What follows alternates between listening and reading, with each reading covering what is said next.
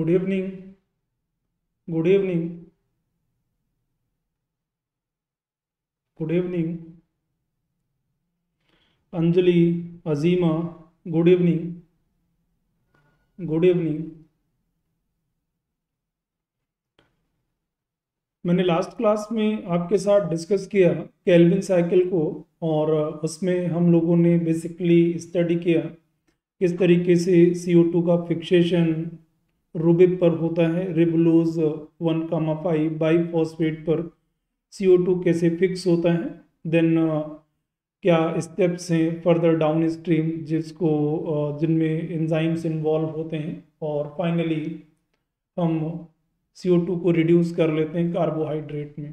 Basically पूरे pathway को तीन फेजेस में डिवाइड किया carboxylation second is reduction and then regeneration इन तीन बेसिक स्टेप्स में हम लोगों ने पाथवे को स्टडी किया। जो पाथवे कैल्विन साइकिल का है, ये बेसिकली हमें इंफॉर्मेशन देता है किस तरह से एटमॉस्फेरिक ऑक्सीडाइज्ड कार्बन को हम लोग रिड्यूस करते हैं या जो फोटोसिंथेटिक ऑर्गेनिज्म है वो रिड्यूस करते हैं फाइनली कार्बोहाइड्रेट में। और देन उस कार्बोहाइड्रेट से वो दूसरे बायोमोलिक्यूल्स भी बना सकते हैं, जैसे कि लिपिड्स से या अमाइनो एसिड से या फिर न्यूक्लियोटाइड्स की सिंथेसिस भी हो सकती है। Shraddha good evening Vikesh good evening Rekha good evening Vaibhav Chandrakant good evening good evening तो ये सारे टॉपिक्स हम लोगों ने पढ़ लिए हैं और केल्विन साइकिल में हम कितना एनर्जी ठीक है कंज्यूम करते हैं पर CO2 या एक थ्री कार्बन कंपाउंड को प्रोड्यूस करने के लिए या एक ग्लिसरल्डिहाइड थ्री फॉस्फेट को प्रोड्यूस करने के लिए कितनी एनर्जी होनी चाहिए, इन सारे पॉइंट्स को हम लोग डिस्कस कर चुके हैं।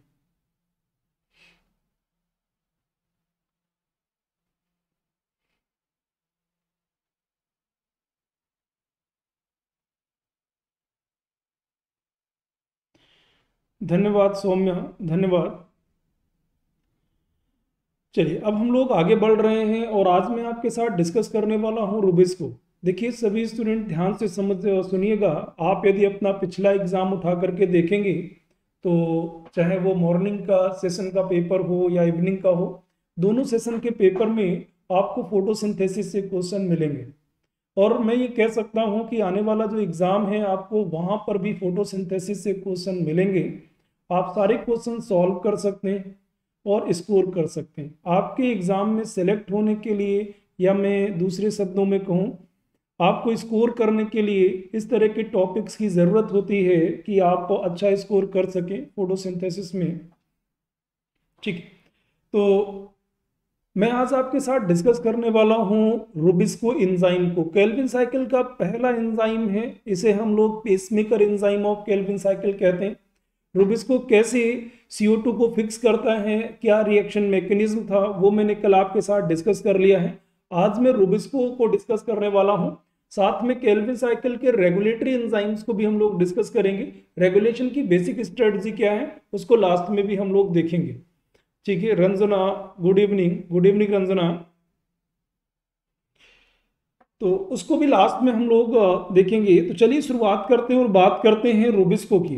Ribulose one comma five bisphosphate carboxylase oxygenase enzyme देखिए, ये कार्बोक्सिलेज भी है और ये ऑक्सीजनेज भी है, ठीक है? इसे ये एंजाइम CO2 और O2 दोनों को रूबिक पर फिक्स कर सकता है, दोनों को एज ए सबस्ट्रेट यूज़ कर सकता है। मैं एक पॉइंट यहाँ पर बेसिकली आप सभी लोगों को क्लियर कर दूँ, यदि हम लोग रूबिस्को एंजाइम की एक्टिव साइट रूबिस्को एंजाइम की एक्टिव साइट की यदि हम बात करते हैं तो इसकी एक्टिव साइट अपने दोनों सबस्ट्रेट CO2 और O2 में डिस्क्रिमिनेशन नहीं कर पाता है। CO2 और O2 में कोई डिस्क्रिमिनेशन नहीं है। आपको ध्यान रखना है। There is a competition between O2 and CO2 for the binding of for same active side binding ये क्वेश्चन आपके CSIR में भी पूछा जा चुका है। इस वजह से हम लोग इसको कार्बोक्सिलेज भी कहते हैं और ऑक्सीजनेज भी कहते हैं। ऑक्सीजनेशन क्या होगा? आगे इसको डिस्कस करेंगे। ठीक है? सिंपली हम लोग इस एंजाइम को रूबिस्को भी कहते हैं। रूबिस्को के सॉर्ट कर लिया रूबिस्को में। तो एंजाइम का पूरा नाम ribulose one comma five bisphosphate carboxylase oxygenase है, जिसे हम लोग रूबिस्को के नाम से जानते हैं। लास्ट का जो सी और ओ है, वो स्टैंड करता है कार्बोक्सिलेशन और ऑक्सीजनेशन के लिए। ठीक है? आप सभी लोग जानते हैं फ़र्स्ट रिएक्शन केल्विन साइकिल का रूबिस्को एंजाइम ही कैटेलाइज करता है। रेबुलोस इसका मतलब ये हुआ, जो रूबिस्को है is the pacemaker enzyme of Calvin cycle Calvin cycle का पेस मेकर एंजाइम अर्थात फ़र्स्ट एंजाइम कौन है? तो रूबिस्को है। Good evening Ved good evening ये आपको ध्यान रखना है। ठीक है, अब ये करता क्या है? ये मैं पहले डिस्कस कर चुका हूँ। बस बेसिकली आप समझ रहे हैं। ये एंजाइम एटमॉस्फेरिक CO2 को कंडेंस करता है ribulose one comma five bisphosphate पर। It catalyses condensation of ribulose one comma five one comma five bisphosphate अर्थात रुबिक ठीक है? With one molecule of CO2 and one molecule of water to yield two molecules of three phosphoglycerate जिसके बारे में हम लोगों ने कल स्टडी किया। CO2 को फिक्स किया और दो कंपाउंड प्रोड्यूस हुए थ्री फास्फोग्लिसरेट ठीक है तो पेसमेकर एंजाइम है और रुबिप पर फिक्स करता है CO2 को, ये आपको ध्यान रखना है। कुछ रिलेशन और भी हैं, आपको उसे समझना है। कल लास्ट जो कल की क्लास है, मैंने आपको बताया कैल्विन साइकिल के एंजाइम्स स्ट्रोमा में प्रेजेंट होते हैं तो इसमें कोई आपको कंफ्यूजन नहीं होना चाहिए कि प्लांट्स में रूबिस्को की लोकेशन किस कंपार्टमेंट में है। तो ये क्लोरोप्लास्ट के स्ट्रोमा में पाया जाएगा। क्लोरोप्लास्ट के स्ट्रोमा में ये प्रेजेंट होता है, ठीक है? दूसरा इंपॉर्टेंट क्वेश्चन ये है, अब आप इस पॉइंट पर ध्यान देंगे, ये बहुत ज़्यादा अमाउंट में मिलने वाला प्रोटीन है प्लांट्स की लीव्स में, ठीक है? जो फोटोसिंथेटिक टिश्यूज हैं, उनमें बहुत ज़्यादा पाया जाने वाला प्रोटीन कौन है? रूबिस्को और ये मोस्ट अबेंडेंट प्रोटीन है इस अर्थ का, सबसे ज़्यादा मिलने वाला प्रोटीन भी है ये। Rubisco makeup about 50 percent of the soluble protein in in plant leaves यदि प्लांट की पत्तियों में हम लोग देखेंगे तो लगभग उसका 50 परसेंट जो सॉल्युबल पोर्शन है, वो प्रोटीन का बना है। ठीक है प्रोटीन और specifically Rubisco making it one of the most abundant enzyme on earth इस अर्थ पर सबसे ज़्यादा मिलने वाला एंजाइम रूबिस्को इस अर्थ पर सबसे ज़्यादा मिलने वाला प्रोटीन रूबिस्को एनिमल्स में सबसे ज़्यादा मिलने वाला प्रोटीन कोलेजन तो आपको ध्यान रखना, इस अर्थ पर सबसे ज़्यादा मिलने वाला प्रोटीन रूबिस्को है। और कभी एनिमल में पूछा जाए सबसे ज़्यादा मिलने वाला प्रोटीन कौन है तो फिर कोलेजन है। फिफ्टी परसेंट लीव्स का जो सोल्यूबल पोर्शन है, वो बना होता है रूबिस्को का। अगला इंपॉर्टेंट कैरेक्टर ये है, ये एंजाइम अभी तक जितने भी नॉन एंजाइम हैं, उन एंजाइम्स में सबसे स्लो कैटालिटिक एक्टिविटी रूबिस्को की है। Rubisco is a slow enzyme और हम लोग कहते हैं वेरी स्लो एंजाइम रूबिस्को बहुत ही स्लो एंजाइम है। शायद यही कारण होगा कि इसका कंसंट्रेशन बहुत ज़्यादा है। कितना स्लो है, इसका अंदाज़ा आप इससे लगा सकते हैं। लगभग three molecules three CO two per second ये फिक्स करता है। On an average three CO two molecules को ये फिक्स करता है पर सेकेंड ठीक है? कोमल गुड इवनिंग रावेंद्र, बनानी, मोहित, लायक्राम, प्रज्ञा गुड इवनिंग सभी को गुड इवनिंग तो स्लोबेस्ट एंजाइम है। बहुत सारे फैक्ट हैं जो आप इसके बारे में समझ रहे हैं। ठीक है? और, इन रिलेशन से भी क्वेश्चंस पूछे जाते हैं। आप सभी को ध्यान रखना है। केल्विन साइकिल का पहला रिएक्शन रूबिस को कैटेलाइज करता है। ठीक है? किस पर कार्बोक्सिलेशन करेगा? तो रूबिक पर कार्बोक्सिलेशन करेगा। मोस्ट अबंडेंट प्रोटीन है सर्थ की। लीप्स में 50 परसेंट सॉल्युबल पोर्शन जो है, वो रूबिस को रिप्रेजेंट करता है। स्लोवेस्ट एंजाइम है। On an average three CO2 per second ये क्या करेगा? फिक्स करेगा। तो स्लोवेस्ट नॉन एंजाइम है जिसका कैटालिटिक जो रेट है वो बहुत कम है। दूसरा इंपॉर्टेंट पॉइंट ये है कि रूबिस्को ही एक हमारे पास ऐसा एंजाइम है, पूरे लिविंग सिस्टम में रूबिस्को ही एक ऐसा एंजाइम है, जो एटमॉस्फेरिक CO2 का नेट रिडक्शन बायोमोलिक्यूल्स में कर सकते हैं। ठीक है रूबिस्को ही एक ऐसा एंजाइम है, या कैल्विन साइकिल ही एक ऐसा पाथवे है, जिसके द्वारा हम लोग एटमॉस्फेरिक CO2 का नेट रिडक्शन कार्बोहाइड्रेट में कर सकते हैं एक डिटेक्टेबल रेट से। या एक मिजरेबल अमाउंट में। आपको ये ध्यान रखना है, ठीक है? Rubisco is the only enzyme that enables the fixation of atmospheric CO2 for the formation of biomass biomass के लिए रुबिस्को ही वो एंजाइम है जो कार्बोक्सिलेशन कैटेलाइज करेगा, ठीक है? This enzyme is there for prerequisite for the existence of the present life on earth, जो present life है अर्थ पर, आप समझ सकते हैं कि उसकी एग्जिस्टेंस के लिए भी ये रिस्पॉन्सिबल है। चिदानंद साहू, जय जगन्नाथ जय जगन्नाथ। तो आप सभी लोग इन बेसिक्स को समझ गए होंगे। चलिए अब आगे बढ़ते हैं और बात करते हैं रुबिस्को एंजाइम के स्ट्रक्चर के बारे में। रुबिस्को एंजाइम के स्ट्रक्चर के बारे में हम लोग बात करने चल रहे हैं। ठीक है? रुबिस्को एंजाइम का स्ट्रक्चर क्या है? हम लोग उसको डिस्कस करने चल रहे हैं। सभी स्टूडेंट ध्यान देंगे रुबिस्को एंजाइम का स्ट्रक्चर क्या है? हम लोग उस पॉइंट को डिस्कस करने चल रहे हैं।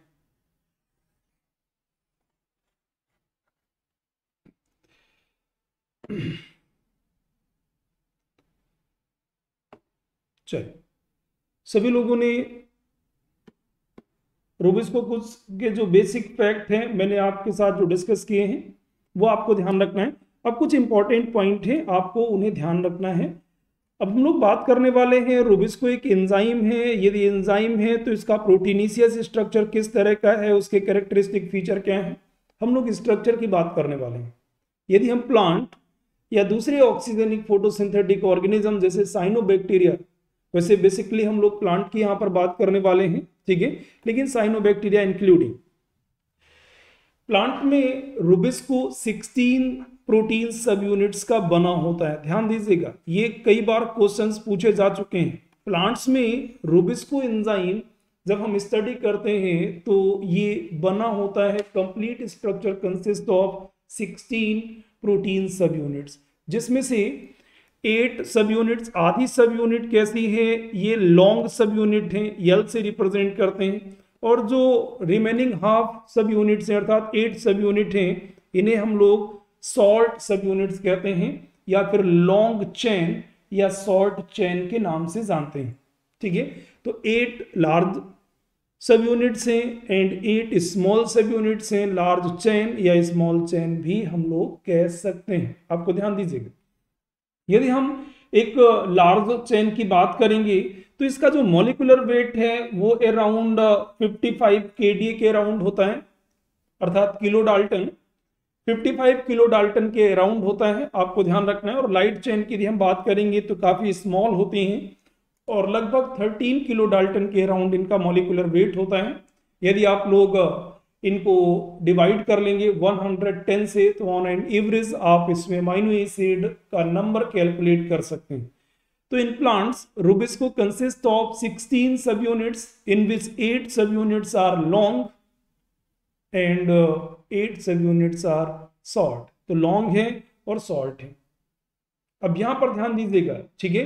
जो लॉन्ग चेन से इनसे क्वेश्चन पूछे जाते हैं। जो लॉन्ग चेन से वो इनकोडेड होती हैं क्लोरोप्लास्ट के जीनोम से। ठीक है? Encoded by genome of chloroplast या हम प्लास्टोसोम जीनोम जो है उसे प्लास्टोसोम कहते हैं।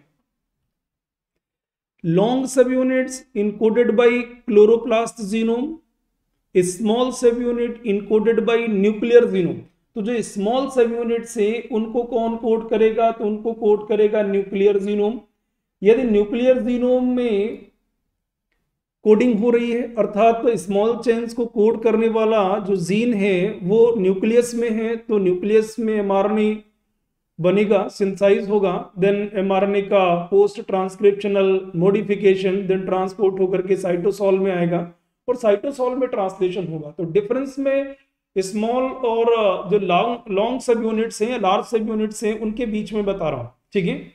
आपको ध्यान रखना है। तो थोड़ा सा यहाँ पर इस पॉइंट पर ध्यान देना है। जब हम लोग यल चैन क्लोरोप्लास्ट जीनोम से ये ट्रांसलेट होंगे तो इनका जो ट्रांसलेशन है, वो 70 एस राइबोसोम के थ्रू होगा। 70 एस राइबोसोम और ये थोड़ा सा एक्सचेंज हो गया है, ये स्टेटमेंट एक्सचेंज हो गया है। तो आपको ध्यान देना है। जो लॉन्ग चेन है क्लोरोप्लास्ट जीनोम यदि इनकोड करेगा तो क्लोरोप्लास्ट के स्ट्रोमा में ट्रांसलेशन होगा और स्ट्रोमा में जो राइबोसोम्स होंगे, वो सेवेंटी एस टाइप होंगे प्रोकैरियोटिक टाइप होंगे, ठीक है? तो साइटोसॉल के बजाय ट्रांसलेशन किसमें होगा? स्ट्रोमा में होगा, ठीक है? प्रोकैरियोटिक लाइबोस लाइक राइबोसोम से ट्रांसलेट करेंगे और इसमें, इसका जो ट्रांसलेशन है, वो स्ट्रोमा में होगा। आपको इस पॉइंट को ध्यान रखना है। जबकि जो स्मॉल चेन से इनका ट्रांसलेशन एटीएस राइबोसोम के थ्रू होगा एटीएस राइबोसोम्स के थ्रू इनका ट्रांसलेशन होगा और ये ट्रांसलेशन साइटोसॉल में होगा। साइटोसॉल। आपको ध्यान रखना है। साइटोसॉल और by 70 ears sorry, by 80 ears ribosomes. और जब ट्रांसलेशन हो जाएगा, ट्रांसलेशन के बाद, साइटोसॉल में ट्रांसलेट होने के बाद ये प्रोटीन, ये स्मॉल चेन्स ट्रांसलोकेट की जाएँगी क्लोरोप्लास्ट के स्ट्रोमा में, जैसा आप लोग माइटोकॉन्ड्रियल प्रोटीन टारगेटिंग में पढ़ते हैं। ठीक है? तो लॉन्ग चेन स्मॉल चेन में दो बेसिक डिफरेंस आपको पहले ध्यान रखना है। Long chains encoded by chloroplast genome small chains encoded by nuclear genome ठीक है? क्लोरोप्लास्ट में यदि इनकोड हो रही है लॉन्ग चेन तो इनका ट्रांसलेशन 70 एस प्रोकैरियोटिक राइबोसोम्स के थ्रू होगा विद इन स्ट्रोमा जबकि शॉर्ट चेन का ट्रांसलेशन साइटोसॉल में होगा और साइटोसॉल में 80 एस राइबोसोम्स पाए जाते हैं, ये आपको ध्यान रखना है, ठीक है? अब क्वेश्चन ये उठता है कि लॉन्ग चेन और शॉर्ट चेन में कैटालिटिक फ़ंक्शन किसके पास है? अर्थात कार्बोक्सिलेशन की प्रोसेस कौन कैटेलाइज करेगा? ये फ़ंक्शन कौन सी सब यूनिट के पास है? तो आपको ध्यान रखना है, एक सिंपल सा कॉन्सेप्ट जितने भी नोन फ़ंक्शन है रूबिस्को के चाहे वो कार्बोक्सिलेशन हो या ऑक्सीजनेशन हो, दोनों catalytic function same active site से कैटेलाइज होती है और ये एक्टिव साइट प्रेजेंट होती है लाइट सॉरी जो लॉन्ग चेन है, उस पर प्रेजेंट होती है, अर्थात जो लॉन्ग चेन से इनके पास कैटालिटिक फ़ंक्शन है शॉर्ट चेन के पास कैटालिटिक फ़ंक्शन नहीं है। ठीक है? तो हम इस, इसको इस तरह से भी कह सकते हैं catalytic function of rubisco catalysed by long chains ठीक है? और यहाँ पर एक पॉइंट आपको ध्यान रखना है लॉन्ग चेन कितनी है? एट है। सभी लॉन्ग चेन्स पर एक्टिव साइट पाया जाता है। इसका मतलब एक रूबिस्को में प्रेजेंट सभी लॉन्ग चेन्स कार्बोक्सिलेशन करते हैं और इस तरीके से ये एक सुप्रामोलिकुलर एंजाइम कॉम्प्लेक्स जितनी भी सब यूनिट कैरी करता है वो सभी सब यूनिट्स कैरी करती हैं एक्टिव साइट जिसके थ्री थ्रू वो एटमॉस्फेरिक CO2 का कार्बोक्सिलेशन कर सकते हैं रूबिक पर। तो कैटालिटिक फ़ंक्शन लॉन्ग चेन के पास है और सभी कैटर जो लॉन्ग चेन है, ये कैटालिटिक फ़ंक्शन परफॉर्म कर सकते हैं। L chain contains a catalytic site and a regulatory site इनके पास एक रेगुलेटरी साइट होता है।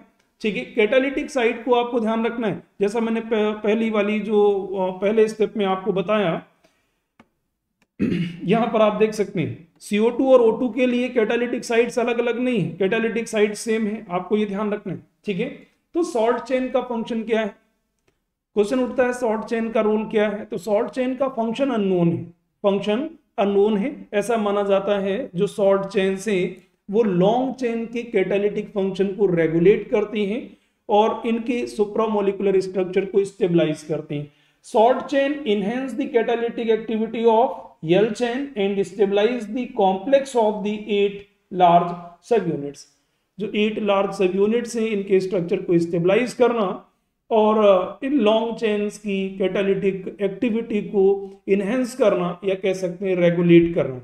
ये डिफरेंस है जो प्लांट में रूबिस को पाया जाता है, उसकी लॉन्ग और शॉर्ट चेन्स में लॉन्ग या शॉर्ट सब यूनिट्स में। उम्मीद कर रहा हूँ आप सभी लोग इस कॉन्सेप्ट को समझ गए होंगे। ये क्वेश्चन आपके एग्ज़ाम में कई बार पूछा गया है। इस डिफरेंस से एग्ज़ाम में कई बार क्वेश्चंस पूछे गए हैं। आप मुझे यस और नो में जल्दी से बताएँ। क्या आप यहाँ समझ पा रहे हैं?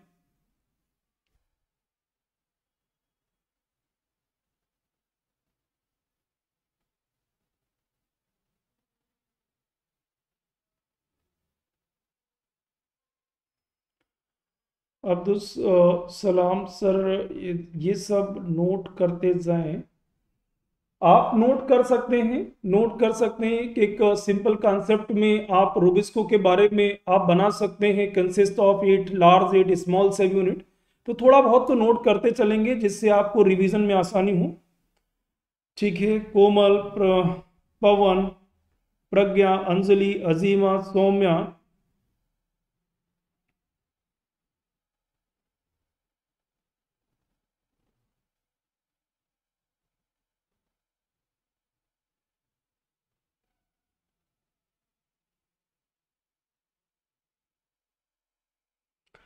जो एक कोई हमारे भाई है जो हिंदुत्व करके हैं, इन्होंने क्वेश्चन किया है कि जब रुबिस्को पर आठ सब यूनिट्स हैं रुबिस्को पर आठ सब यूनिट्स हैं, ठीक है तो फिर आपने पहले कल के बारे में इन्होंने क्वेश्चन किया है कि आपने कल फिर तीन का फिक्सेशन क्यों बताया? तीन सीओ टू का फिक्सेशन क्यों लिया?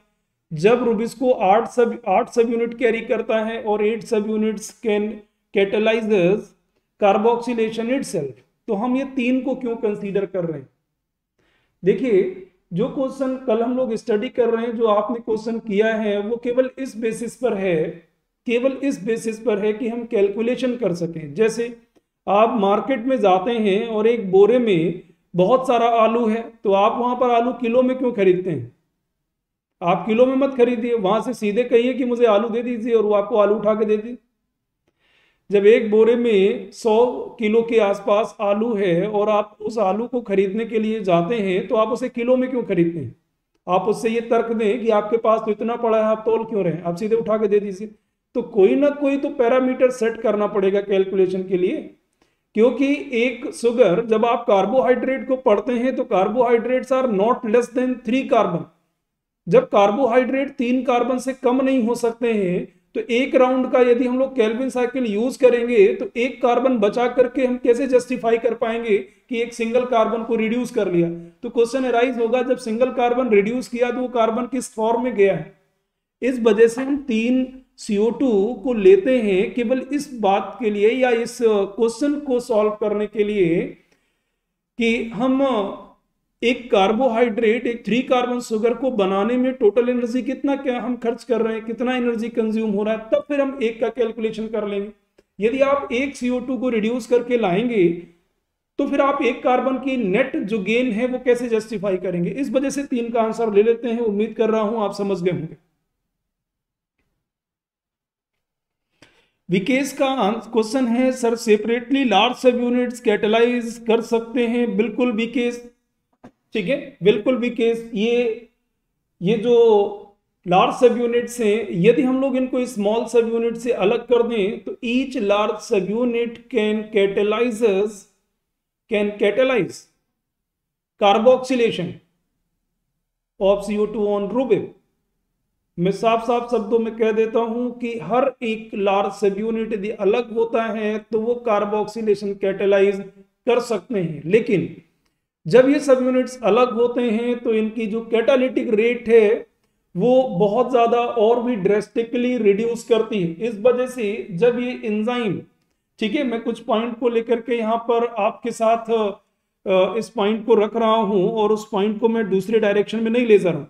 यदि हम लोग इनकी एट सब यूनिट्स को अलग अलग कर देंगे तो भी ये कार्बोक्सिलेशन कर सकते हैं एक्सपेरिमेंटली ऐसा आइडेंटिफाइड है, ये कर सकते हैं। लेकिन यदि हम ऐसा करते हैं तो कुछ पॉइंट्स को लेकर के प्रॉब्लम है। इनका कैटालिटिक रेट भी जो है, वो जो आप देख रहे हैं, जो स्लो है, वो भी बहुत स्लो हो जाता है। दूसरा इंपॉर्टेंट इफ़ेक्ट आता है इनके एक्टिवेशन पर। इनका एक्टिवेशन जो है एक्टिवेशन की जो प्रोसेस है, वो प्रॉपरली कंप्लीट नहीं हो पाती है। अर्थात सामान्य शब्दों में हम ये कह सकते हैं कि ये आसानी से एक्टिवेट नहीं हो पाते। यदि हम इनको अलग अलग कर देंगे इन प्लांट्स मैं उम्मीद कर रहा हूँ आप लोग मेरे इस आंसर को समझ गए होंगे। मैं इस पॉइंट को आगे क्लियर करूँगा। अभी मैं एक्टिवेशन पर चल रहा हूँ। आप सभी लोग इस पॉइंट को समझ गए होंगे। क्या मैं आगे बढ़ सकता हूँ? क्या मैं आगे बढ़ सकता हूँ?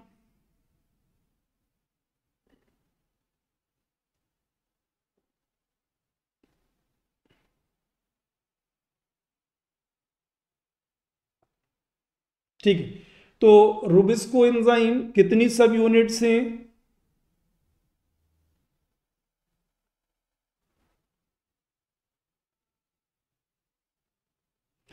बिल्कुल अब्दुस कानपुर तो रहने और खाने में सबसे सस्ता है।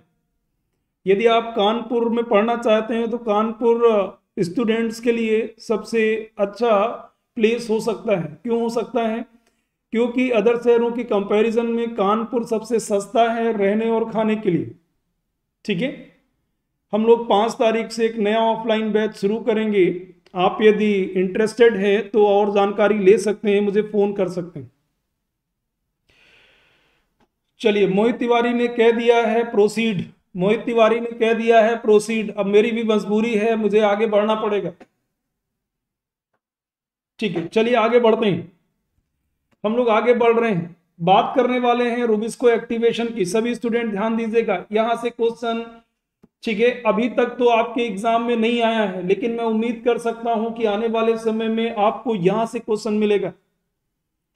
आपके एग्ज़ाम में क्वेश्चन यहाँ से आएगा, ठीक है, अभी तक क्वेश्चन नहीं आया है सिंपल सब यूनिट्स और कौन सबस्ट्रेट है सीओ टू और ओ टू क्या सबस्ट्रेट उसके लिए हो सकते हैं क्या सेम सेम साइड से कार्बोक्सिलेशन और ऑक्सीजनेशन करेगा, इसको हम लोग आगे और डिटेल में समझेंगे। ठीक है? लेकिन एक्टिवेशन से क्वेश्चन बनेंगे और आपको ध्यान रखना है रुबिस्को का एक्टिवेशन कैसे होता है। ठीक है? यहाँ से आप ये भी सीखेंगे कि लाइट रिएक्शन के साथ साथ डार्क रिएक्शन ऑपरेट होती हैं या लाइट रिएक्शन के बाद भी डार्क रिएक्शन ऑपरेट हो सकती हैं। अर्थात इनकी जो टाइमिंग है वो अलग अलग कर दी जाए तो क्या दोनों रिएक्शंस इंडिपेंडेंटली ऑपरेट हो सकते हैं? इस क्वेश्चन का भी आंसर हम लोग यहाँ पर डिस्कस करेंगे, ठीक है? एक्टिवेशन ऑफ़ रूबिस्को मैं कुछ बेसिक पॉइंट आपको बता देता हूँ, जिससे पहले क्लियर हो जाए कि रूबिस्को का एक्टिवेशन कैसे होना है।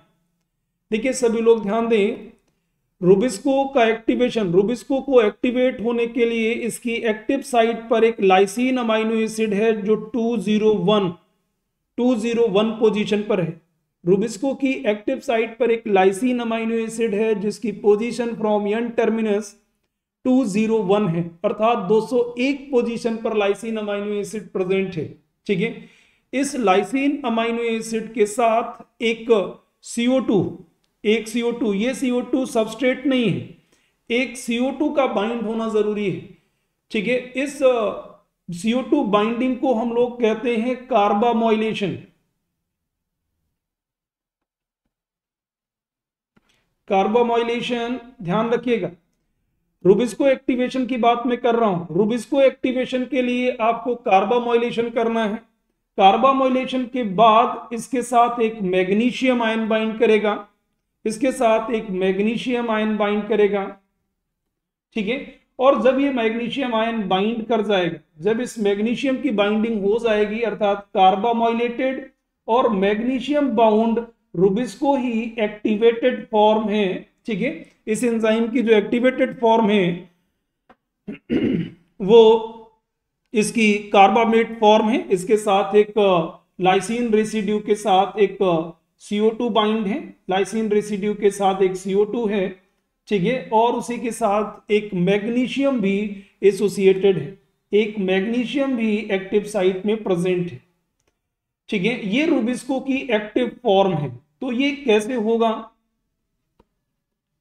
ये रूबिस्को की एक्टिव फॉर्म है, लेकिन इतना आसान नहीं है। तो सभी लोग ध्यान दें, यदि रूबिस्को को एक्टिवेट करना है तो कार्बामोइलेशन करना है, अर्थात उसके साथ एक CO2 लिंक करना है एक स्पेसिफिक लाइसिन रेसिड्यू के साथ ये CO2 इसका सबस्ट्रेट नहीं है। CO2 के यहाँ दो फ़ंक्शन है।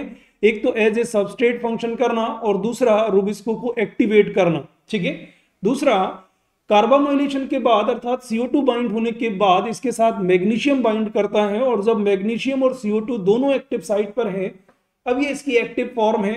देन ये CO2 का कार्बोक्सिलेशन शुरू करेगा, ठीक है? ये इसकी एक्टिव फॉर्म है। अब यहाँ पर रिलेशन आता है कि पीएच का रोल क्या है?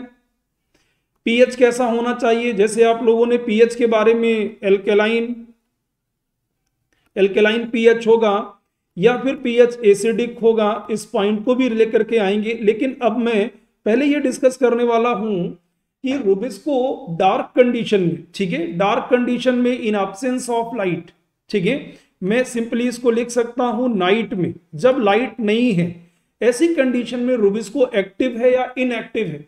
हम लोग वहाँ से शुरुआत करते हैं। तो डार्क कंडीशन अर्थात नाइट से शुरुआत करते हैं। नाइट में हम लोग देखेंगे रुबिस्को एक्टिव है या इनएक्टिव है। इनएक्टिव है तो किस वजह से इनएक्टिव है, इस पॉइंट को जानेंगे। और फिर जब डे में जैसे ही लाइट का रिस्पॉन्स शुरू होगा, इस अर्थ पर लाइट आएगा तो उस लाइट के साथ रुबिस्को के एक्टिवेशन को हम लोग कनेक्ट करेंगे। ठीक है? और आप ये जानेंगे कि लाइट डायरेक्टली नहीं, लेकिन इनडायरेक्टली रुबिस्को के एक्टिवेशन को स्टिमुलेट करता है। तो पहले मैं आपको डार्क कंडीशन बताता हूँ कि डार्क कंडीशन में, अर्थात नाइट में रुबिस्को की सिचुएशन क्या है। और जब हम बात करेंगे in response of light light reaction शुरू होगी तो रुबिस्को का एक्टिवेशन कैसे होगा, हम लोग इस पॉइंट पर आएँगे और फिर कार्बोमाइलेशन और मैग्नीशियम बाइंड के स्टेप्स की बात करेंगे। ठीक है? तो सभी लोग इस पॉइंट पर ध्यान से समझिएगा, ये इंपॉर्टेंट पॉइंट है। रुबिस्को एक्टिवेशन का बहुत ही सिंपल है। ठीक है? जैसा आप सभी लोग जानते हैं केल्विन साइकिल का मेन रेगुलेटरी एंजाइम भी रुबिस्को है। मैंने आपसे कहा कि pacemaker enzyme of Calvin cycle तो केल्विन साइकिल का मेन रेगुलेटरी एंजाइम कौन है? रुबिस्को है। और इस एंजाइम की एक्टिविटी को कंट्रोल करना भी ज़रूरी है। मेन रेगुलेटरी एंजाइम है। और रेगुलेटरी एंजाइम की एक्टिविटी को कंट्रोल करके उस पाथवे की एक्टिविटी को कंट्रोल किया जा सकता है, जिस पाथवे का वो पार्ट है। जैसे ग्लाइकोलिसिस में आप लोग जानते हैं PF K one enzyme main regulatory enzyme है, उसकी एक्टिविटी को कंट्रोल करके ग्लाइकोलिटिक रेट को कंट्रोल किया जा सकता है। उसी तरह से कैलविन साइकिल के रेट को कंट्रोल करने के लिए रुबिस्को की एक्टिविटी को कंट्रोल करेंगे। नहीं लायक राम, ये सीओ टू फिक्स नहीं करेगा। जो CO2 इसकी एक्टिव साइट पर बाइंड है, मैंने पहले भी क्लियर कर दिया कि जो CO2 इसकी एक्टिव साइट पर बाइंड होगा, वो फिक्सेशन में इन्वॉल्व नहीं होगा।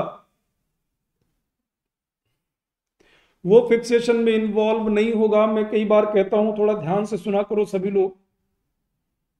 आगे मैं इस पॉइंट को क्लियर कर लूँगा और भी बोल दूँगा चार बार।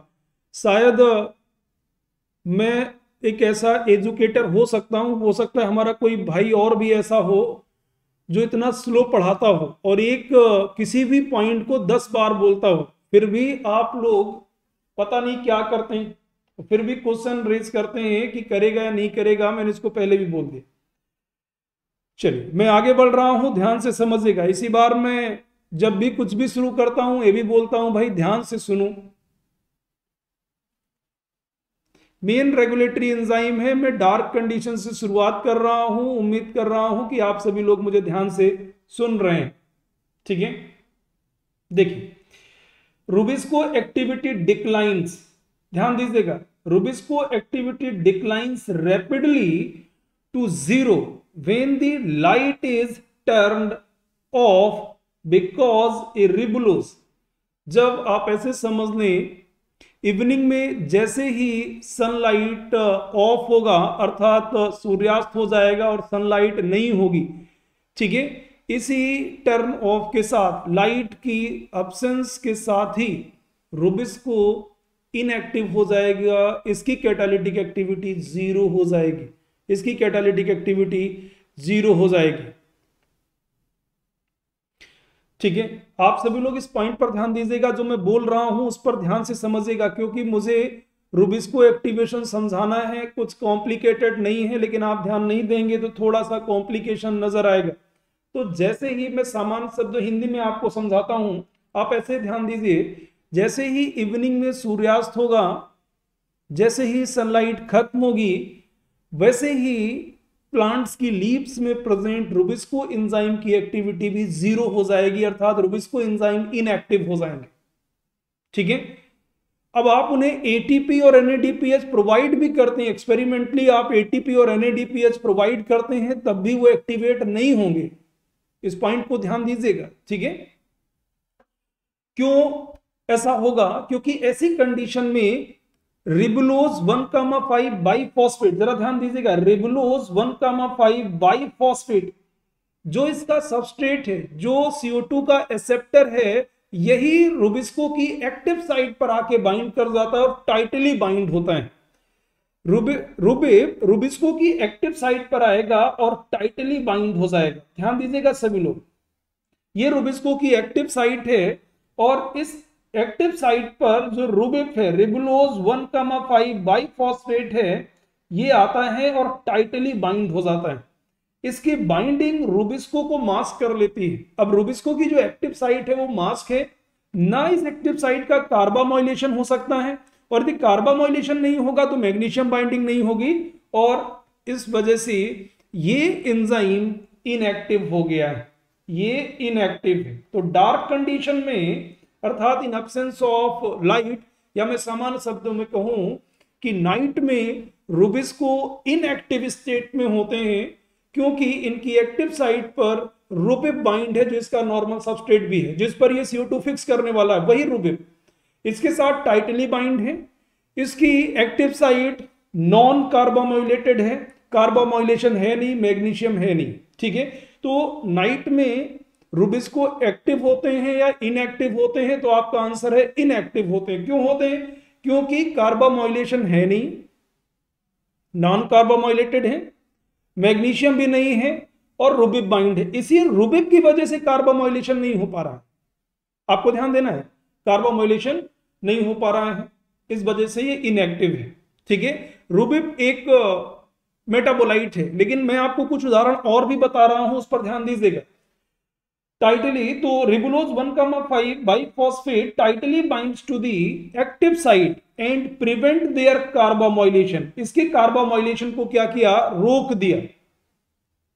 कार्बोमोइलेशन को रोक दिया। क्योंकि डे कंडीशन में तो कार्बोमोइलेशन स्टेबाइज होता ही रहता है। जैसे एंजाइम डीकार्बोमोइलेटेड होगा, फिर उसका कार्बोमोइलेशन कर दिया जाएगा एक्टिव कर दिया जाएगा। तो ये प्रोसेस दिन में चलता रहता है। लेकिन सनलाइट की एब्सेंस में यदि जैसे ही उसका डीकार्बोमोइलेशन होगा, अर्थात हो ही जाएगा, क्योंकि ये तो प्रक्रिया चलती रहती है, वैसे ही एंजाइम इनएक्टिव हो जाएगा, इसके साथ रूबिप टाइटली बाइंड कर जाएगा। ठीक है? अब थोड़ा और ध्यान देना है, कुछ हेक्सोस फॉस्फेट केवल रूबिप ही नहीं hexose phosphate and by three phosphoglycerate three phospho hexose phosphate three phosphoglycerate can also bind to active site ठीक है इंस्टीड ऑफ़ रूबिप केवल रूबिप ही नहीं, बल्कि हेक्सोस फॉस्फेट भी बाइंड हो सकते हैं, और थ्री फॉस्फोग्लिसरेट भी एक्टिव साइट पर आके बाइंड हो सकता है और कार्बोमाइलेशन को रोक सकता है, ठीक है? एक पोटेंट इनिबिटर है, एक पोटेंट इनिबिटर है जो नाइट में सिंथसाइज होता है, ठीक है? जिसे हम स्ट्रॉन्ग इनिबिटर कहते हैं two carboxy two carboxy arabinitol one phosphate कुछ प्लांट्स में ये सिंथसाइज होता है और ये कंपाउंड ट्रांजिशन एनालॉग है। ट्रांजिशन फ़ेज़ एनालॉग है, ठीक है? जो आप लोग कल पढ़ रहे थे रूबिप का, जब कार्बोक्सिलेशन करते हैं, उसका एनालॉग है। ये कुछ प्लांट में डार्क कंडीशन में सिंथसाइज होता है और एक्टिव साइट पर आके बाइंड करता है और कार्बोमाइलेशन को ब्लॉक कर देगा। ठीक है? इस तरह से एंजाइम इनएक्टिव होते हैं।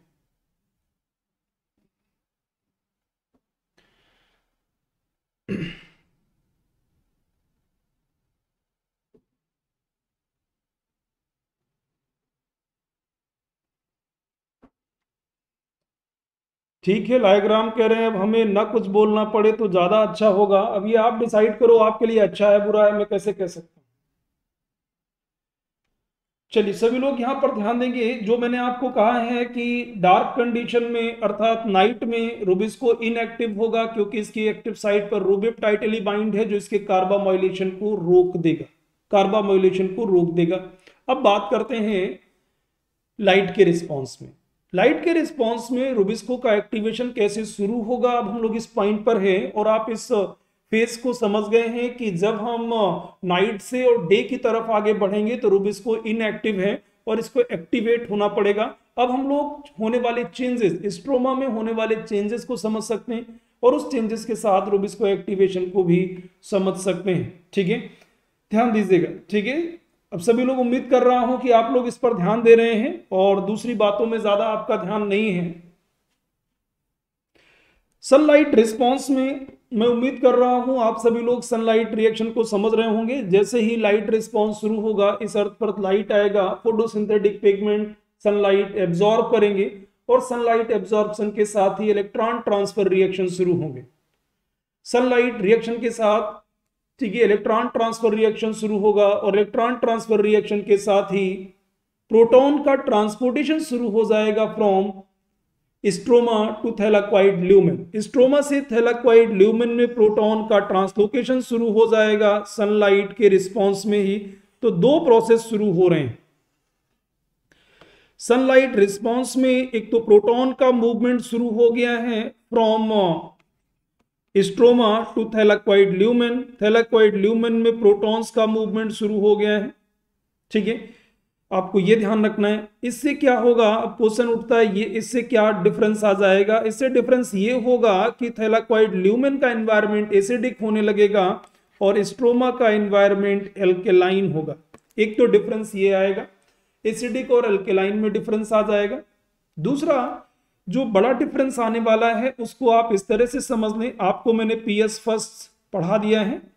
पीएस फ़र्स्ट के बारे में आप लोग पढ़ चुके हैं। पीएस फ़र्स्ट पर जो फाइनल इलेक्ट्रॉन एक्सेप्टर है, जिसके थ्रू इलेक्ट्रॉन यानी डीपी पर ट्रांसफ़र होते हैं सॉरी यहाँ मुझे पीएस फ़र्स्ट लिखना पीएस फ़र्स्ट और ये है फेरिडॉक्सिन ठीक है? फेरिडॉक्सिन से इलेक्ट्रॉन ट्रांसफ़र होते हैं यानी डीपी पर, लेकिन यहीं पर रिड्यूस्ड फेरिडॉक्सिन से इलेक्ट्रॉन एक्सेप्ट कर लेते हैं। कुछ और हमारे पास इलेक्ट्रॉन कैरियर हैं, जिसे हम नाम देते हैं थायोरिडॉक्सिन थायोरिडॉक्सिन। फेरिडॉक्सिन से इलेक्ट्रॉन एक्सेप्ट कर लेते हैं थायोरिडॉक्सिन और ये अपने ऑक्सीडाइज्ड फॉर्म से कन्वर्ट हो जाते हैं रिड्यूस फॉर्म में।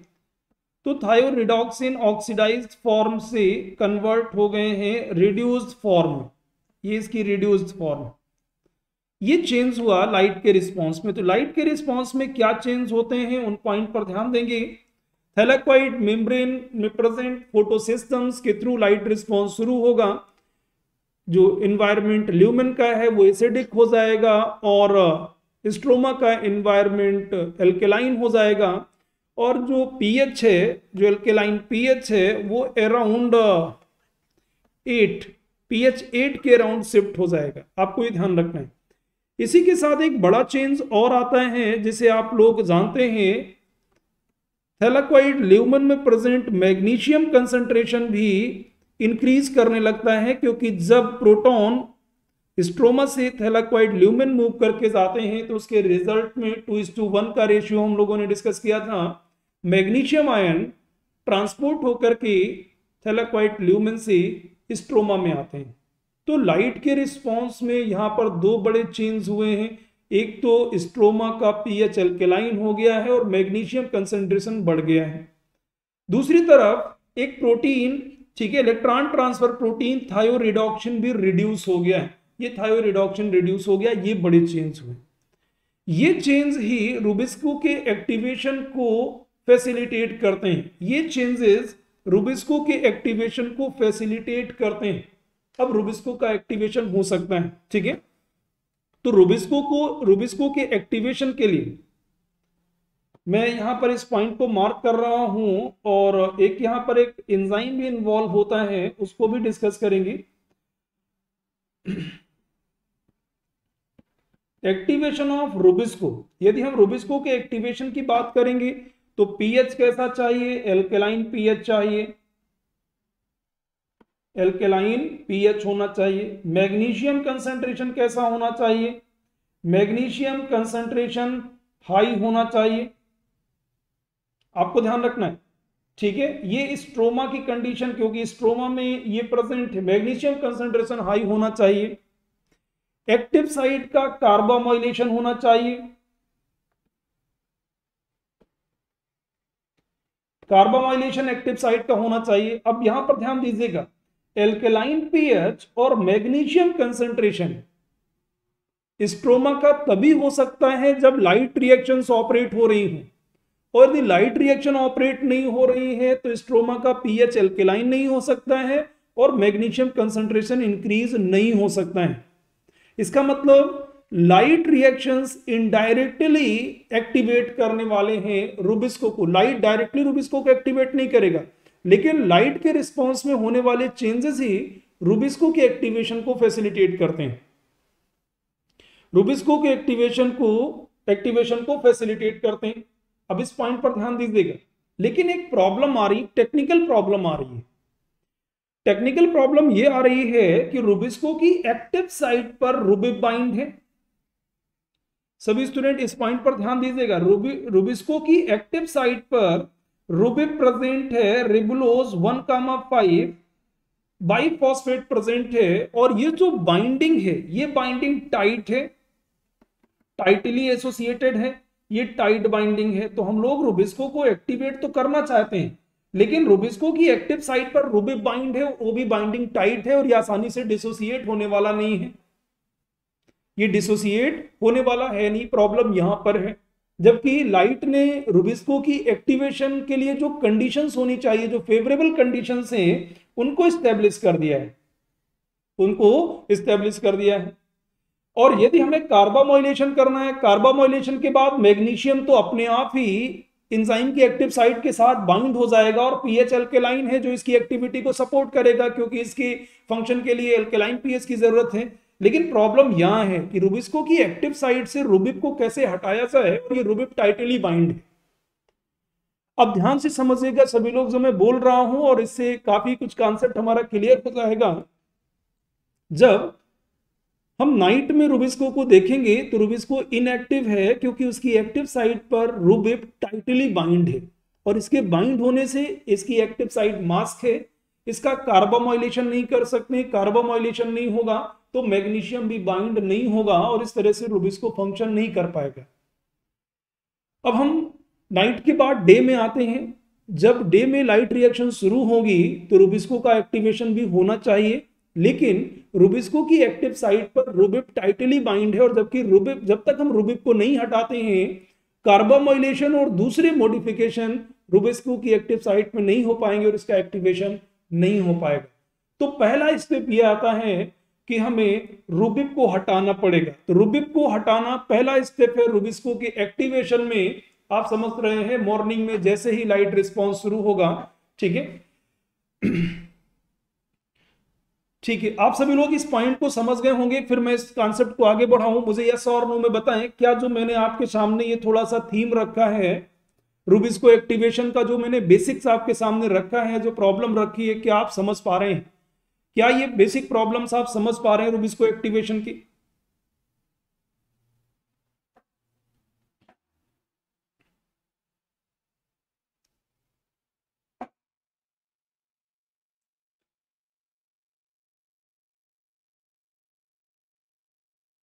Good evening Loknath good evening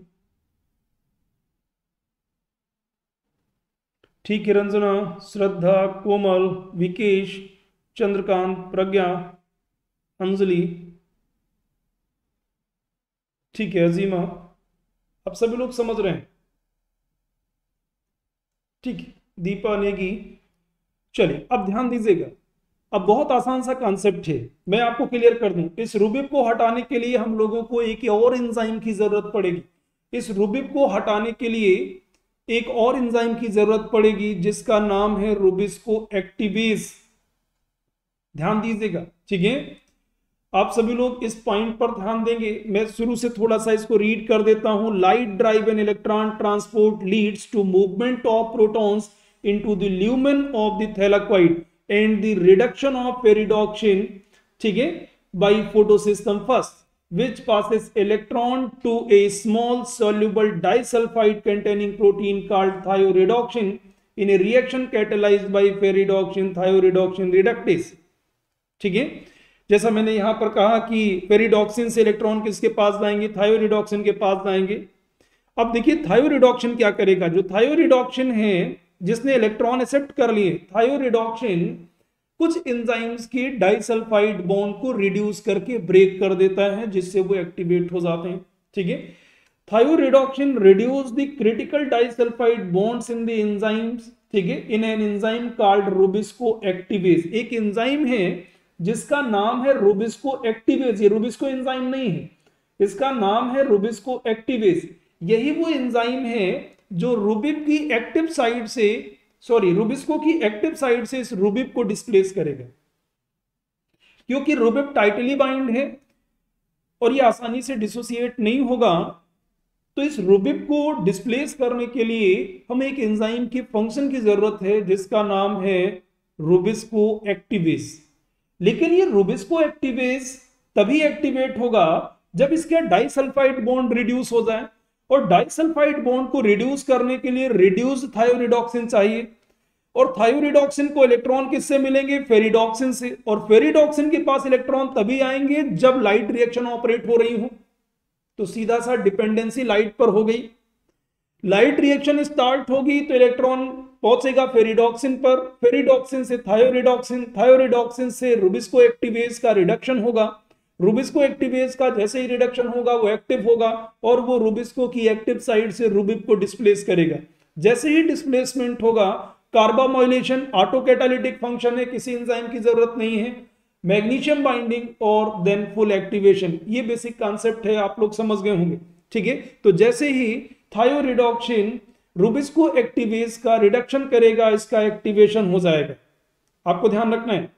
दूसरी तरफ़ movement of proton across the thylakoid membrane increase the pH of stroma stroma के पीएच को इंक्रीज करेंगे और ये अराउंड एट के हो जाएगा। ठीक है? एंड मैग्नीशियम कंसंट्रेशन ये भी इंक्रीज होगा। These light induce condition favour activation of rubisco तो रुबिस्को को एक्टिवेशन के लिए ये कंडीशंस फेवर करती है। मैं आपको कंडीशन यहाँ पर बता रहा हूँ, देखिए कंडीशन क्या है। हमारे पास एंजाइम है रुबिस्को हमारे पास एंजाइम है रूबिस्को और रूबिस्को की एक्टिव साइट पर रूबिक प्रेजेंट है। अब मैं पूरे कॉन्सेप्ट को आपके सामने प्रेजेंट कर रहा हूँ, ध्यान से समझिएगा, ये रूबिक है। जब तक इसका डिस्प्लेसमेंट नहीं होता है, तब तक ये एक्टिवेट नहीं होगा। डिस्प्लेस करने वाला एंजाइम कौन है? डिस्प्लेस करने वाला एंजाइम है rubisco activase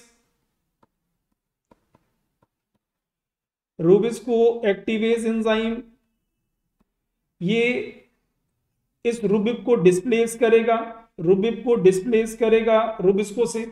लेकिन इस एंजाइम के पास एक डाइसल्फाइड बॉन्ड है। जरा ध्यान दीजिएगा, ये इसका एक डाइसल्फाइड बॉन्ड है। जब तक ये डाइसल्फाइड बॉन्ड रिड्यूस नहीं होता है, तब तक ये एक्टिव नहीं होगा। ये अभी इनएक्टिव है, ये अभी इनएक्टिव है। जरा ध्यान दीजिएगा। ठीक है? अभी एक्टिव कैसे होगा? तो जैसा मैंने अभी आपको बताया कि थैलाक्वाइड मेम्ब्रेन में present photosystem first photosystem first से जब इलेक्ट्रॉन ट्रांसफ़र होते हैं पेरिडॉक्सिन पर। मैं इस पॉइंट को यहाँ पर दोबारा आपके साथ डिस्कस कर रहा हूँ। पेरिडॉक्सिन पीएस फ़र्स्ट इस फेरिडॉक्सिन से इलेक्ट्रॉन ट्रांसफ़र होते हैं थायोरिडॉक्सिन पर। ध्यान दीजिएगा इलेक्ट्रॉन ट्रांसफ़र होंगी थायोरिडॉक्सिन पर।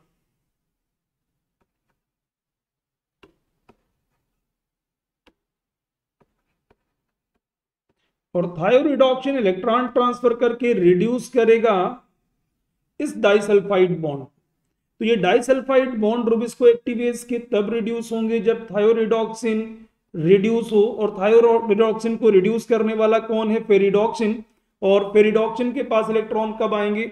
जब पी एस फ़र्स्ट से इलेक्ट्रॉन का मूवमेंट होगा और यहाँ पर तो शुरुआत होगी इलेक्ट्रॉन ट्रांसफ़र की सनलाइट के रिस्पॉन्स में।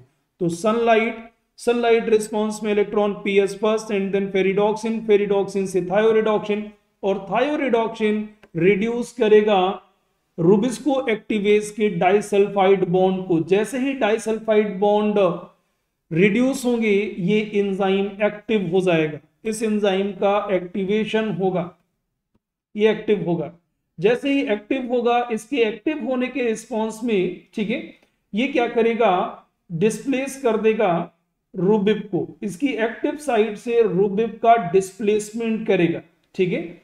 ये टाइटली बाइंड था। इस डिस्प्लेसमेंट में ये एंजाइम एटीपी हाइड्रोलाइज करता है। तो ये रिएक्शन एटीपी डिपेंडेंट है, ध्यान रखिएगा। एटीपी प्लस पीआई तो rubisco activase ATP dependent displacement करेगा रूबिब का, और जैसे ही रुबिब डिस्प्लेस होगा रुबिस्को एंजाइम रुबिस्को एंजाइम की एक्टिव साइट अनमास्क होगी, अर्थात एक्टिव साइट फ्री हो जाएगी। ये एक्टिव साइट इसका फ्री हो गया है। ये रूबिस्को है एक्टिव साइट इसका फ्री है। एक्टिव साइट फ्री होने के बाद अब इसके एक लाइसिन एक लाइसिन अमाइनो एसिड जो 201 पोजीशन पर है। इस लाइसिन अमाइनो एसिड के एप्साइलन अमाइनो ग्रुप आप लाइसिन का स्ट्रक्चर समझते होंगे, ऐसे मैं उम्मीद कर रहा हूँ। इस लाइसिन के एप्साइलन अमाइनो ग्रुप के साथ एक CO2 बाइंड करेगा। अब इसके साथ बाइंडिंग होगी CO2 की। क्वेश्चन मुझसे किया गया था, क्या ये CO2 सबस्ट्रेट है? तो ये CO2 सबस्ट्रेट नहीं है, ये CO2 सबस्ट्रेट नहीं है। ये एंजाइम की एक्टिव साइट के साथ बाइंड करेगा और इसको एक्टिवेट करेगा। तो CO2 के यहाँ पर दो फ़ंक्शन है CO2 के दो फ़ंक्शन है। एक तो CO2 as a substrate function कर रहा है कार्बोक्सिलेशन के लिए, जबकि कुछ CO2 मॉलिक्यूल जो एंजाइम की एक्टिव साइट के लाइसिन रेसिड्यू से बाइंड है, वो सबस्ट्रेट नहीं है। वो सबस्ट्रेट नहीं है, वो एक तरह से एक्टिवेटिंग सीओ टू ठीक है? रूबिस को एक्टिवेट को एक्टिवेट करने का काम कर रहा है। तो अब इस, अब जो अगला स्टेप है, वो है CO2 की बाइंडिंग अर्थात कार्बामोइलेशन एक्टिव साइट के साथ CO2 बाइंड होगा, ये कार्बामोइलेशन है। और जैसे ही CO2 की बाइंडिंग होगी, अर्थात लाइसिन अमाइनो एसिड के साथ अमाइनो ग्रुप के साथ, ये CO2 बाइंड करेगा। अमाइनो ग्रुप के साथ CO2 बाइंड करेगा तो ये कार्बामेट बनेगा। और जैसे ही कार्बामेट बनेगा, इस कार्बामेट बनने के साथ ही एक मैग्नीशियम आयन आकर के बाइंड कर जाएगा। एक मैग्नीशियम। ठीक है, ये कंडीशन होगी। मैग्नीशियम जब बाइंडिंग हो जाएगी तो ये इंजाइम अब एक्टिव है, ये इंजाइम एक्टिव है। ये रूबिस्को की एक्टिव कंफर्मेशन है।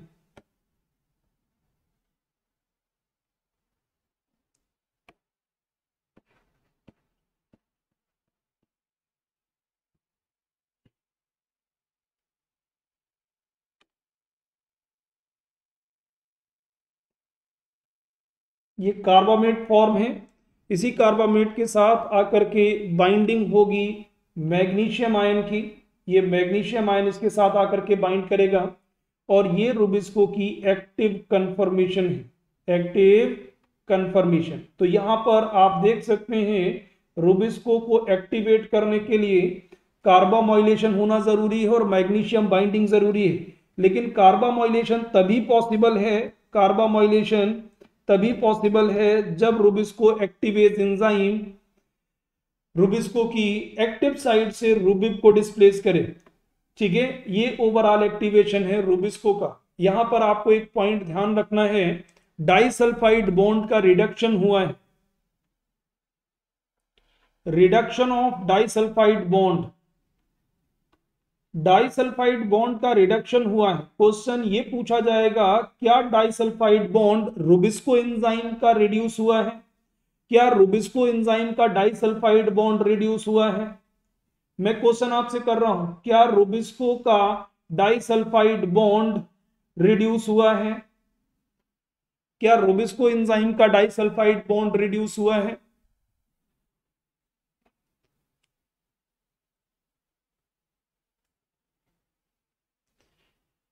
क्या रोबिस्को का डाइसल्फाइड बॉन्ड रिड्यूस हुआ है?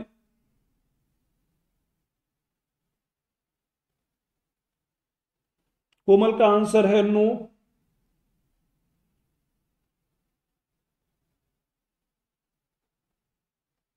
विकेश का आंसर है नो अजीमा, रंजना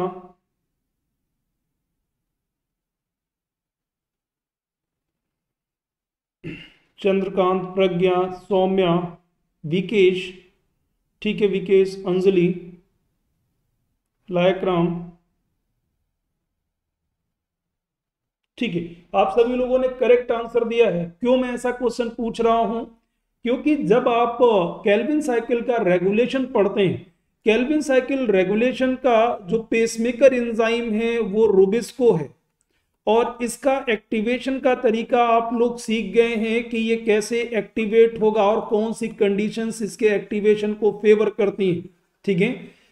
अब यहाँ पर आपको ध्यान देना है कौन सी कंडीशंस इसके एक्टिवेशन को फेवर करती हैं। ठीक है? यहाँ पर एक स्टेज है कार्बामोइलेशन एक स्टेज है कार्बामोइलेशन कार्बामोइलेशन तभी पॉसिबल हुआ जब रुबिस्को की एक्टिव साइड से रूबिब डिस्प्लेस कर दिया गया by the action of rubisco activase और ये फ़ंक्शन एटीपी डिपेंडेंट है. ये फ़ंक्शन एटीपी डिपेंडेंट था. आपको ध्यान रखना है. लेकिन रुबिस्को एक्टिवेज ने नाइट में ऐसा क्यों नहीं किया? रुबिस्को एक्टिवेज ने रुबिब को नाइट में क्यों नहीं रिड्यूस किया? क्योंकि रुबिस्को एक्टिवेज को खुद एक्टिवेट होने के लिए अपने बॉन्ड को रिड्यूस करना होगा. अर्थात रुबिस्को एक्टिवेट्स का एक्टिवेशन डिपेंड करता है उसके डाइसल्फाइड बॉन्ड के रिडक्शन पर। और डाइसल्फाइड बॉन्ड का रिडक्शन थायो रिडक्शन कर सकता है जब रिड्यूस हो। थायो रिडक्शन रिड्यूस तभी हो सकता है जब इसको इलेक्ट्रॉन फेरिडॉक्सिन से मिले। और फेरिडॉक्शन के पास इलेक्ट्रॉन तभी आ सकता है जब photosynthetic electron transport system operate हो रहा हो। और photosynthetic electron transport system operate हो सकता है जब सनलाइट प्रेजेंट हो।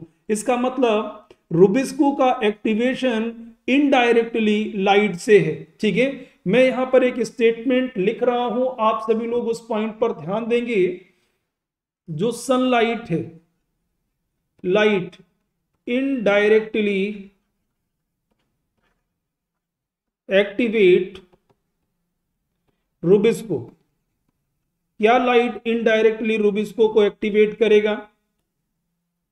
आप मुझे आंसर देंगे, क्या सनलाइट रुबिस्को को इनडायरेक्टली एक्टिवेट करता है?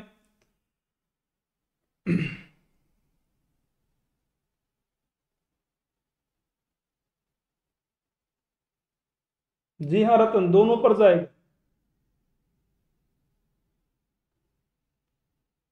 फेरिडॉक्सिन भी इलेक्ट्रॉन कैरियर है।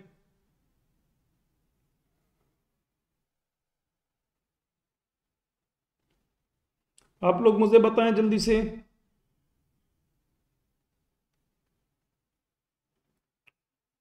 ठीक है, कोमल बीके सौम्या, अंजलि, अजीमा, चंद्रकांत, रंजना, रतन। ठीक है, आप सभी लोग समझ पा रहे हैं। आप सभी लोग यहाँ पर समझ पा रहे हैं। ठीक है तो आप यहाँ पर रुबिस्को एक्टिवेज का कॉन्सेप्ट समझ रहे हैं। कई बार स्टूडेंट ये नहीं समझ पाते हैं रुबिस्को अलग है रुबिस्को एक्टिवेज अलग है। अब यहाँ पर एक पॉइंट सभी लोग ध्यान दीजिएगा। जब रूबिप डिस्प्लेस हो गया, मैं एक इंपॉर्टेंट पॉइंट आपको बता रहा हूँ, जब रुबिस्को से रूबिप डिस्प्लेस हो गया डिस्प्लेस होने के बाद ये कार्बामोइलेशन हुआ। डिस्प्लेस होने के बाद का जो प्रोसेस है, वो है कार्बामोइलेशन ठीक है? वो कार्बामोइलेशन है, अर्थात सीओ की बाइंडिंग है। डिस्प्लेस होने के बाद CO2 बाइंड हुआ, ठीक है? और हम लोग इस प्रोसेस को नाम देंगे कार्बामोइलेशन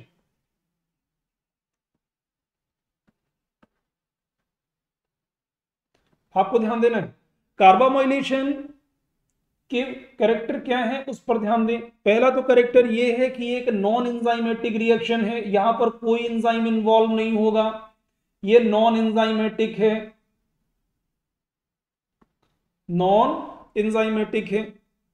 ध्यान रखना है, ठीक है? और ऐसा करने के लिए दो प्रोटॉन रिलीज़ होते हैं, ठीक है? जब भी ऐसा होगा तो क्या होगा? कार्बोमाइलेशन का रिलेशन होता है एसोसिएटेड होता है release of release of two protons ठीक है? From active site from active site active site से प्रोटॉन की रिलीज़ होनी चाहिए।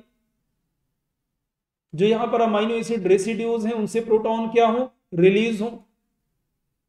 आपको ध्यान रखना है, और आप सभी लोग जानते होंगे अमाइनो एसिड्स में आप लोगों ने पढ़ रखा है कि एल्केलाइन कंडीशन में ही तो प्रोटॉन रिलीज़ होगा। जैसे आप पीएच सेवन के ऊपर बढ़ते हैं तो जो अमाइनो ग्रुप्स होते हैं, वो अपना प्रोटॉन रिलीज़ कर देते हैं, डीप्रोटोनेट हो जाते हैं।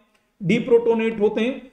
ठीक है? तो इसी प्रोटॉन रिलीज़ को, इसी प्रोटॉन रिलीज़ को फैसिलिटेट करता है फेवर करता है। सभी स्टूडेंट ध्यान दें, इसी को फेवर करता है एल्केलाइन पीएच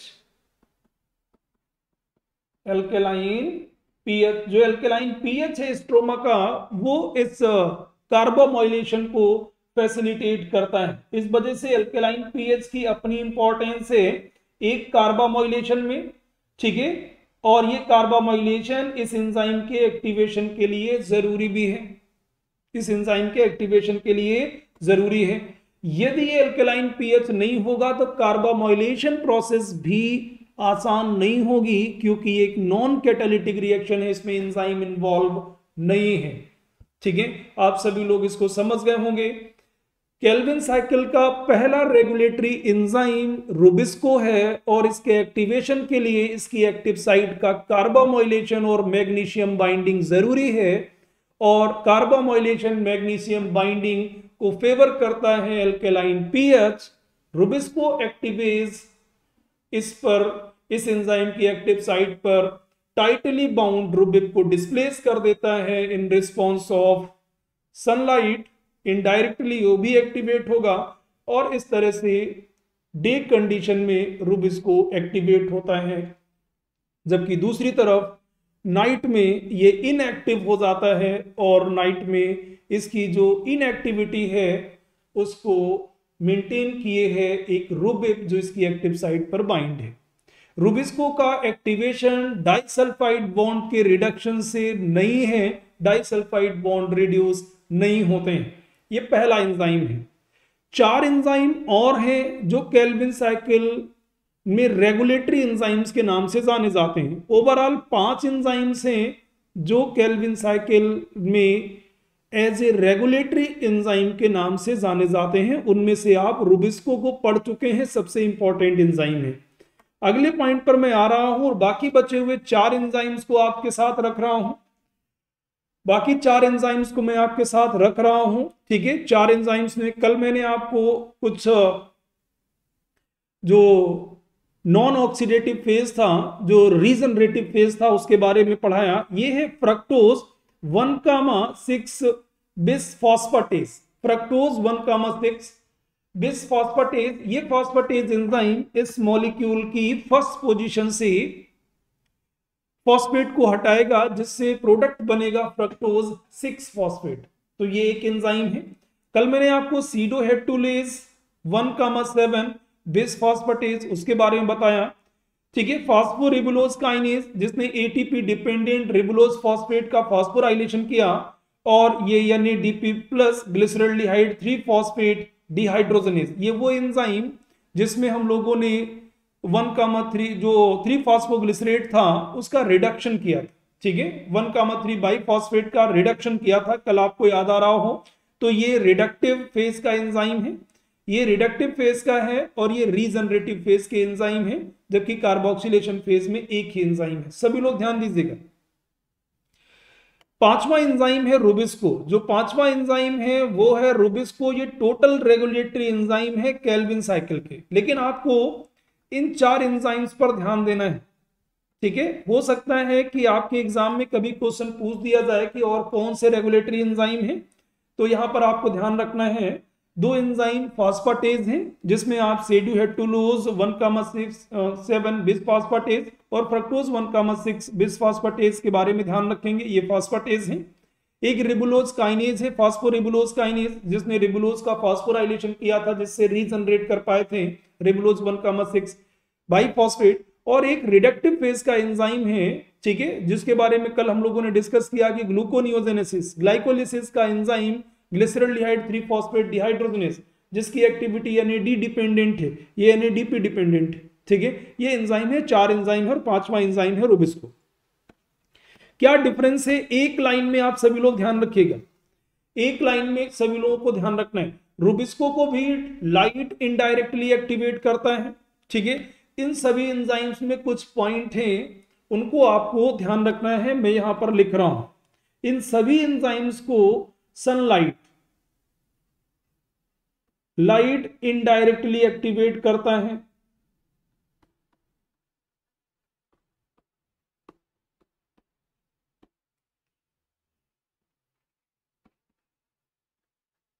इन सभी एंजाइम्स को लाइट इनडायरेक्टली एक्टिवेट करता है। दूसरा इंपॉर्टेंट पॉइंट है कि एल्केलाइन पीएच सभी लोग ध्यान दीजिएगा। जो एल्केलाइन पीएच है, वो इनके एक्टिवेशन को फैसिलिटेट करता है।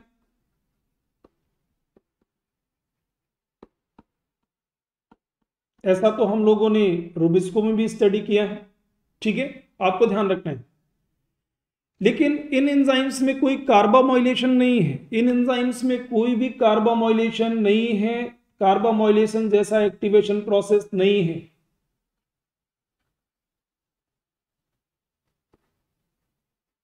कार्बामोइलेशन नहीं है।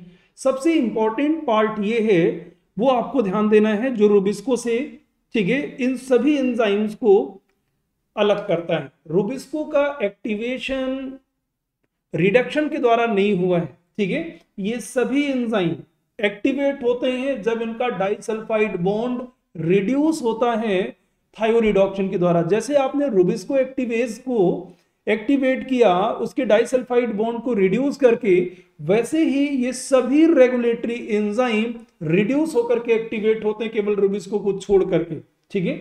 ये आपको ध्यान रखना, ये डिफरेंस है।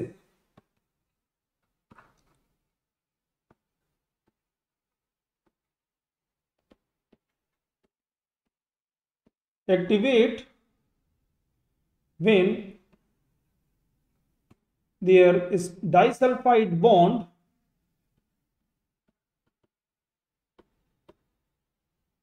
bond is reduced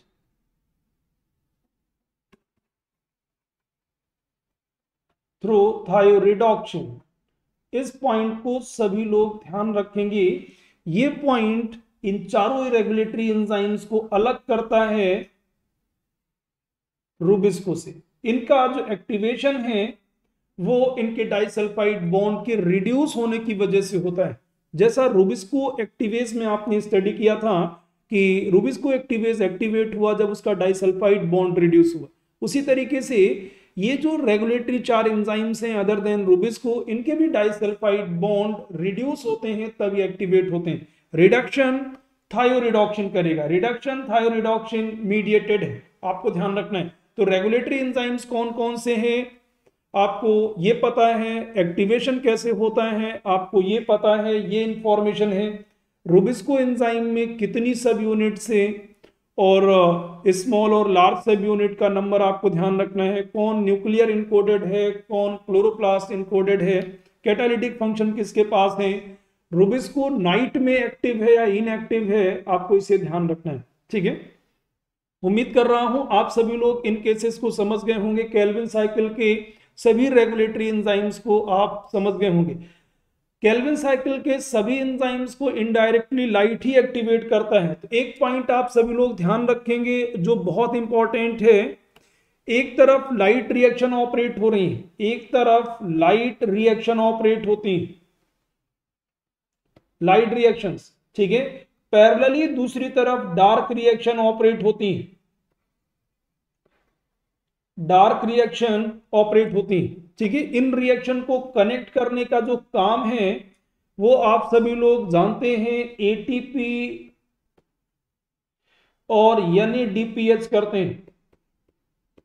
NADPH ATP और एनएडीपीएच लाइट रिएक्शन को कनेक्ट करते हैं डार्क रिएक्शन से। ठीक है, दूसरी तरफ़ यदि हम देखेंगे तो एडीपी और एनएडीपी इसको हम लोग इस तरह से रिसाइकिल कर सकते हैं। ये रिएक्शन है। अब यहाँ पर एक क्वेश्चन ये पूछा जा सकता है, जिसकी वजह से मैंने ये लिखा है कि यदि हम लाइट रिएक्शन को बंद करा लें, अर्थात नाइट की कंडीशन आप नाइट पर ध्यान दें। नाइट में किसी प्लांट की लीव में एक्सपेरिमेंटली आप इस केस को समझिए हम लोग नाइट में एक एक्सपेरिमेंट करते हैं और प्लांट के जो क्लोरोप्लास्ट का स्ट्रोमा है, उसमें हम लोग एटीपी और एनएडीपीएच ऐड करते हैं। ठीक है? एक्सपेरिमेंटली बाहर से हम लोग एटीपी और एनएडीपीएच ऐड करते हैं जब सनलाइट नहीं है। सनलाइट की एब्सेंस में, अर्थात नाइट में। क्लोरोप्लास्ट के स्ट्रोमा में एटीपी और एनएडीपीएच ऐड कर दिया। ऐसी कंडीशन में क्या कैलविन साइकिल था? डार्क रिएक्शन ऑपरेट हो पाएँगी या नहीं हो पाएँगी, ये मेरा क्वेश्चन क्या डार्क रिएक्शन ऑपरेट होंगी या नहीं होगी, ये मेरा क्वेश्चन है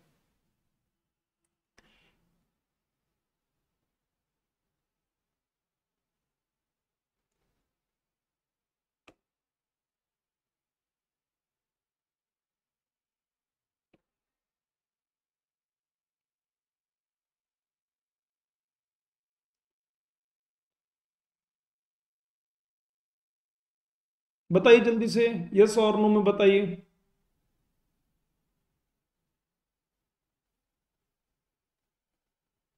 सौम्या, नो, प्रज्ञा, चंद्रकांत।